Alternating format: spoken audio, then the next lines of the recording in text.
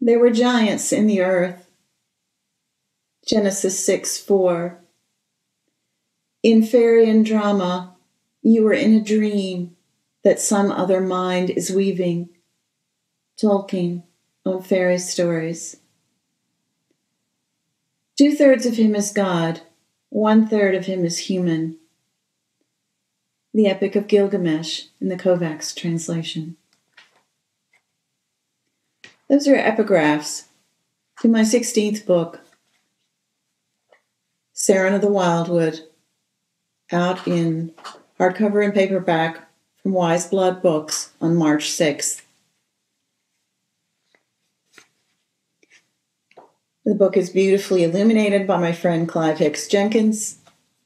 Here's a little peep at some of his work. Two little boys. Something that might be a fairy or an angel. The Wildwood is a place whose time is not our time. And Seren is a child born on the edge of it, betwixt and between. Even before she is born, the poem begins because her birth is tied up with deaths. When she goes finally to Wildwood, having been long lured, she will have adventures. She will meet danger. She will find transformation. In a story that is also a poem, a mixture of blank verse and medieval bob and wheel rhyming verse. I'm going to read just a little snip this is the first chapter before Seren is born, after the prologue.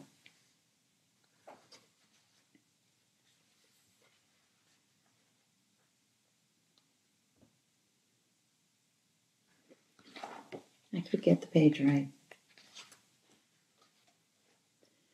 Never speak your passions by the wildwood. The heedfulness that might have saved their lives from harm was torn in two, and afterward they were dismayed, bewildered by surprise. The father looked as handsome as a dream of elvishness, a man whose element seemed fire, his aura crackling energy, his potent green eyed glance a stream of sparks. The mother softer, secretive, blue eyed, her element not fire but water force that mines the roots of mountains, flies to clouds? Was he too proud a flame, too rich in youth? Did she demand too much in quietness? Or did their beauty lure the wildwood stare? Of course, he was the one to speak the words, sudden, wrathful, turning on the children, two little boys who leaped in reckless joy and never thought of punishment and doom.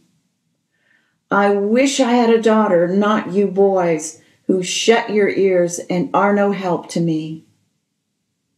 The edge of things is always dangerous, and trees may shelter eyes and ears that do not care to please. The shade where something hears, the dark where something sees. Seren of the Wildwood. I hope you go adventuring with Seren and have lots of nice green thoughts along the way.